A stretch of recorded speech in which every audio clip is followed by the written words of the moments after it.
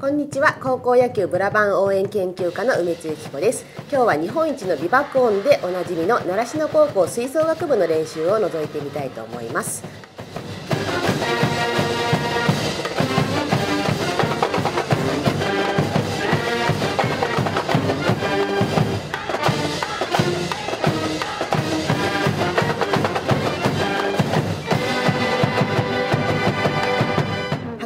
ふれる奈良校の応援を見に球場に訪れるファンも多く吹奏楽部は野球部に限らず他の部活も積極的に応援することから校内だけではなく広く地域に根ざして愛され続けています。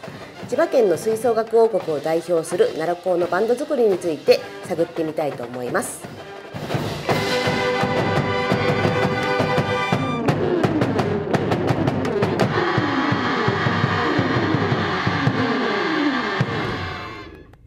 ありがとうございました。それでは、えー、生徒さんにお話を伺ってみたいと思います。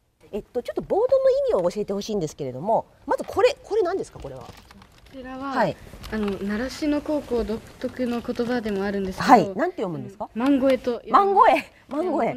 マンっていうのはあの、はい英語であの FULL のはいフルという意味で、まあ全力で声を出すという意味でマンゴエというふうにはあ。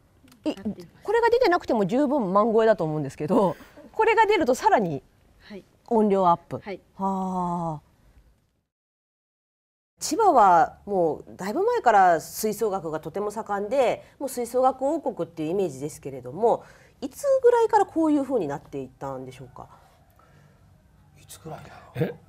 やっぱ小沢先生こう新妻先生石田先生ってそうですね。来られて、ーそれに我々が追随していったんじゃないですかね。まあこの三人の力はやっぱり大きいと思います。ああなるほど、あの我々がねまだ若かりし頃、はい。中学校の顧問やってた時なんかは、もう高橋先生と仲が良かったので、いろんなとこでこう情報交換とかいろいろやってて、はい。はい。